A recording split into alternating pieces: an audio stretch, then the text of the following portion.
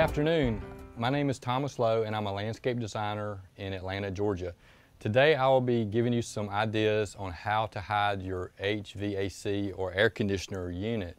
Um, a couple ways uh, to do this is the, one of the first ways many homeowners will do is they'll use uh, wooden lattice or wooden uh, fencing to hide their AC unit. And then also I'll talk about uh, different types of uh, plant material, shrubs, um, to hide your air conditioner system and, and the differences between the two. Um, if you want to go the approach of using lattice uh, or wooden fencing, you can buy pre-made uh, eight foot or four foot sections of fencing at your, at your hardware centers or lumber centers. Now, uh, and then of course you can cut them to fit custom, or you can actually custom make them yourself. If you custom make uh, something, the wooden fences to hide the air conditioner units, you'd first of all need to start out with these four by four uh, posts. And in this design, uh, we've actually put a four by four post here, another one in this corner, and another one in that corner, and left this open for access to the unit. Uh, also gone back with a two by four and put on the front of the four by four post as shown um, right there at the very top of the 4x4 post.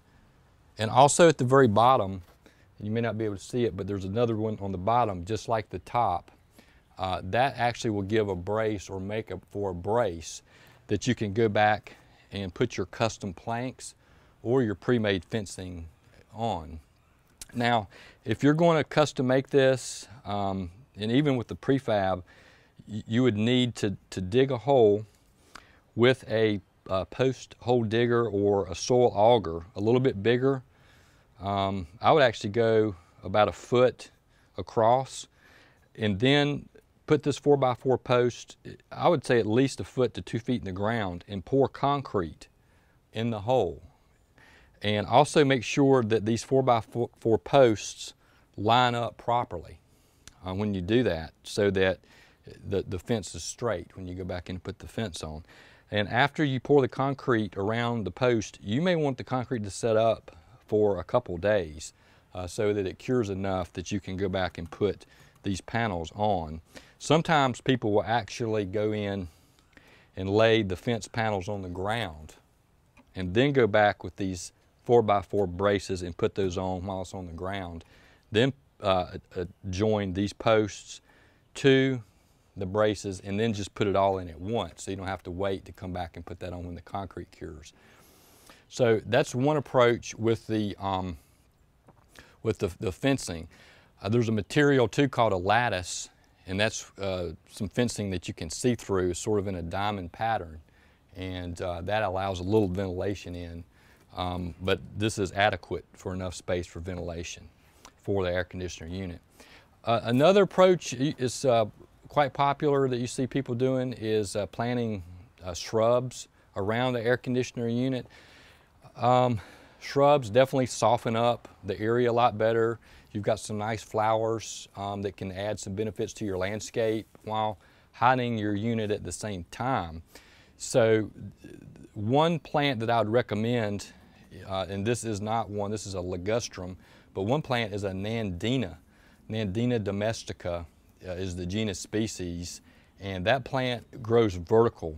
It grows only about two to three feet wide, grows up to about six feet tall. Those are great to go around air conditioner units because when you plant plants around air conditioner units, you never want these plants to grow into the, into the unit. So number one thing is to choose the right size plant when you do plant foliage around the air conditioner unit. I also recommend before doing any uh, digging around units is to call uh, the Utilities Protection Center to mark any utility lines so that you don't cut any lines when you're digging. Um, so make sure that the plant you choose um, doesn't really grow into here. If you really love a plant, you know it's going to get too big, that's okay, you can plant it. Just know you're going to have to prune it a couple times a summer once it really gets mature so it doesn't really grow into this air conditioner unit. Uh, one good example uh, is shown here that you really do and don't want to do is here at the bottom, you always want to keep this concrete exposed and you never really want to pile a lot of mulch up around your unit because you know this all this material holds moisture and you're going to get a lot of rust and it, it, can wear on the system over the years and, and cause it not to live its full life. So you really want to keep this mulch away uh, from the air conditioner unit and keep it with this concrete foundation uh, exposed. Uh, one other thought too that I forgot to mention was if you're planting some plants, some grasses or some landscape plants to go around the air conditioner units, one nice thing about this is that, and sometimes the fencing does it, but is a plant and sometimes the fencing will hide all of these other parts from the sun because the sun, when this gets wet and the sun hits it, it, it uh, speeds up the rusting and the decomposition a lot quicker. So uh, plants also really shield um, the air conditioner unit parts from uh, rusting as bad. So I hope these tips have been uh, some help for you and have a great day. My name is Thomas Lowe and I'm a landscape designer in Atlanta, Georgia.